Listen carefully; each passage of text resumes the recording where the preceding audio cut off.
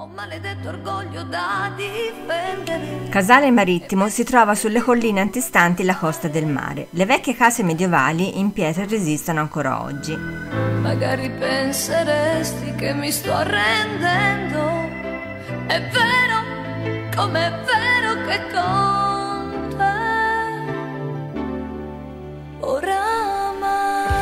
Le stradine del centro con il suo campanile e le piazzette sono davvero molto belle, ottime per fare una passeggiata. Vale la pena vivere, mi chiederai se mai Un borgo ben tenuto, pulito e ordinato, con strade in pietra. Passeggiando nel silenzio di queste stradine si trova la calma e un tempo per meditare. da adesso in poi.